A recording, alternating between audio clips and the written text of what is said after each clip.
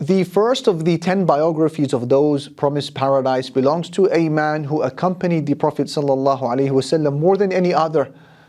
His companionship was tireless, his support was unconditional. So blessed was this individual that Allah, the most just, Al Adil, allowed him to accompany the messenger beneath the earth just as he had accompanied him above it. Even today, mere inches separate the graves of the Prophet Muhammad وسلم, and Abu Bakr. Though famously known as Abu Bakr, his real name was Abdullah, son of Uthman. He was referred to as As-Siddiq, the one who was always attesting to the truth and living by it. A title which Ali ibn Abi Talib swore had descended from the heavens. The Iman, the faith of Abu Bakr weighed more than the Iman of the entire Ummah combined.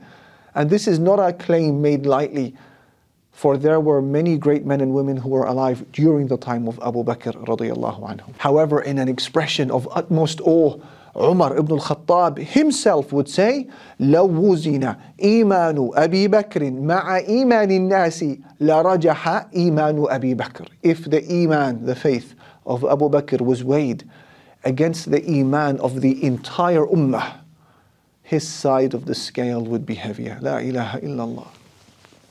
Subhanallah, what a spectacle of a human being he must have been. What spectacular heights must Abu Bakr have reached during his lifetime to be praised like this by Umar. Abu Bakr was no ordinary individual, but a, a true wonder of Allah's creation. Abu Bakr was, by the way, if this had been his only virtue, it would have been enough. He was the most beloved of men to the Prophet Muhammad. You and I, we can claim to love the Messenger, but how many of us are sure that we are loved in return?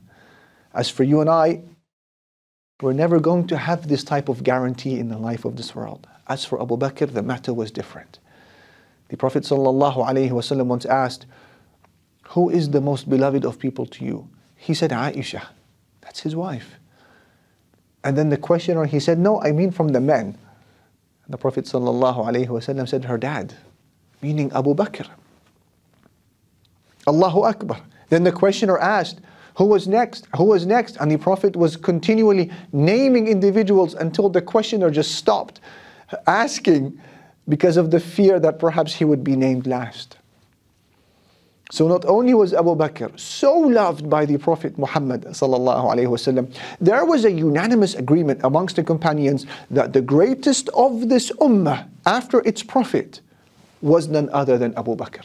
Abdullah, son of Umar ibn Khattab, would say, We used to compare the people as to who was better at the time of the Messenger of Allah sallallahu alaihi wasallam. And we used to regard, i.e. the companions, we used to regard Abu Bakr as the best.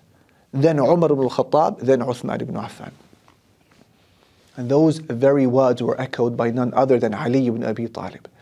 So how ignorant must a person be to claim that there were ill feelings harbored between the companions and the household of the Prophet والسلام, or that they had competed for worldly positions after he died. This type of behavior is unbecoming of the average 21st century Muslim, let alone those who are divinely selected to be the students of the Messenger of Allah. Sallallahu Alaihi Wasallam. The son of Ali ibn Abi Talib by the name of Muhammad ibn al-Hanafiyyah he asked his father Ali, Who is the best of people after the Messenger of Allah? He said, Abu Bakr. His son said, Then who, father? He said, Then Umar. So his son said, I was afraid that my father would then say, Uthman after Umar. So I said, Then you, dad, it's you? He said, ana illa rajulun min al muslimin. I'm just an ordinary person from the Muslims. Allahu Akbar. An amazing display of humbleness from Ali ibn Abi Talib, despite the fact that he was most certainly not an average Muslim. Imagine for a moment what it could possibly be like to be guaranteed paradise in the life of this world. Imagine living day to day, eating, drinking, trading, sleeping, praying, washing, shopping, all whilst knowing that you're going to paradise for sure. Imagine that the verses of Quran which speak of paradise and its delights definitely apply to you. Abu Bakr was one such man. And that's why the Prophet ﷺ once asked his companions, Who is fasting today? And Abu Bakr, he said, I am a messenger of Allah. He asked, Has anyone followed a funeral procession today? And Abu Bakr, he said, I have, O messenger of Allah. Then the Prophet ﷺ asked, Has anyone fed a poor person today? And Abu Bakr, he said, I have, O Messenger of Allah. And then the Prophet finally asked, Has anyone visited an ill person today? Abu Bakr, he said, I have, O Messenger of Allah, subhanAllah. So the Prophet Muhammad sallallahu alayhi wasallam remarked, مَجْتَمَعْنَا فِي مْرِئٍ إِلَّا دَخَلَ الْجَنَّةِ Whenever these qualities gather in any one person, paradise will definitely be his home. So not only did he have this guarantee, listen to this, Abu Bakr will also be invited to enter paradise through every one of the eight gates of Jannah. Among these gates, you have the gate of prayer, the gate of charity, the gate of jihad, the gate of fasting called Ar Rayyan. And Abu Bakr learned that people would be invited to enter paradise through the gate according to which act of worship he or she had excelled in. And so, in a display of titanic aspirations and limitless hope in Allah subhanahu wa ta'ala, he asked the Prophet, Will anybody be invited to enter paradise through every one of the gates of Jannah? All eight.